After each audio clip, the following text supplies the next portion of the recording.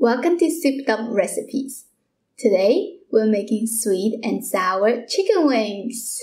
This is my favorite chicken wings, and I'm sure if you try it, you're gonna do the same thing I just did. so let's get started. I got 1.2 pounds of chicken wings here. Make sure they're clean and dry. Then let's marinate it with one and a half tablespoon of homemade garlic chili sauce. Sometimes I use sambal, also I use Lee Kum Kee very often. They all taste good. You can use any Asian style chili sauce. Just need to adjust it to your level because you don't want it to be super spicy. Next, we're gonna add a half teaspoon of salt and some freshly ground pepper. Last, we're gonna add a little bit vegetable oil just to lubricate it. Also, tiny amount of oil will make the skin even more crispy. Give that a toss, mix it evenly, let it sit for at least one hour. You can do it overnight too, that will be better.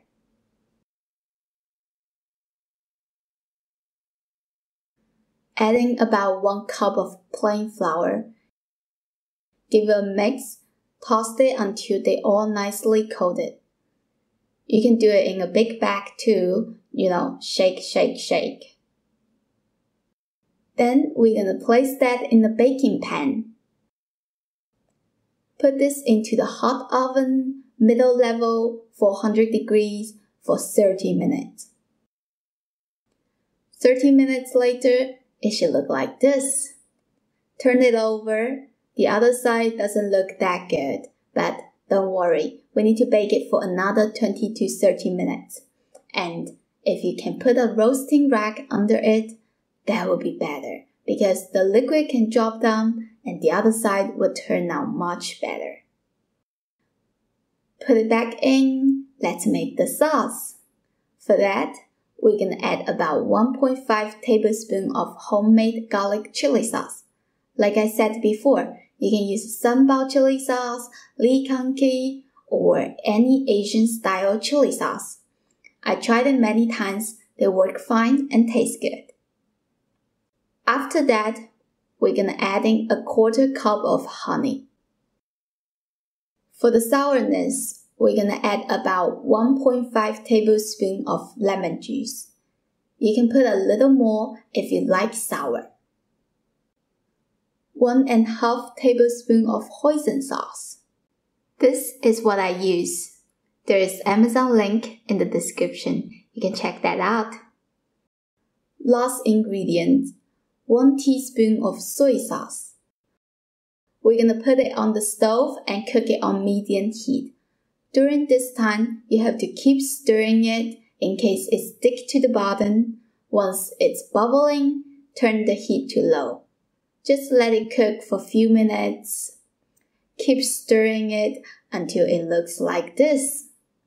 Feels sticky, but still pretty flowing because if it's too watery, then it will moisten the crispy skin. If it's too sticky, then it's not easy to coat the chicken wings. Let's check the chicken wings. This is how it should look like when it turns out.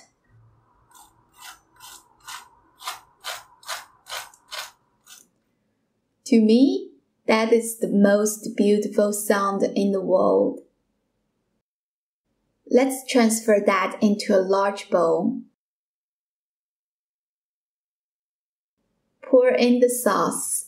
Oh, the sauce looks delicious. I just love that shiny red color. Mix that until all the chicken wings are coated with that amazing sauce.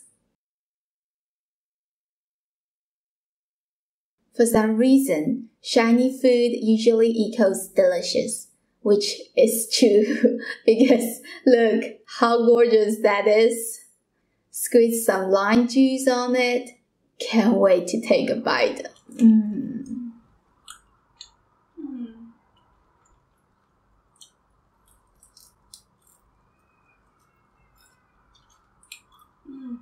It's super crispy, has a good balance between sweet and sour, a little spicy kick. Oh, I feel like I'm falling in love with it. I hope you give this a try soon. Check the description for all the ingredient amounts and the steps. Give me a thumbs up if you liked it.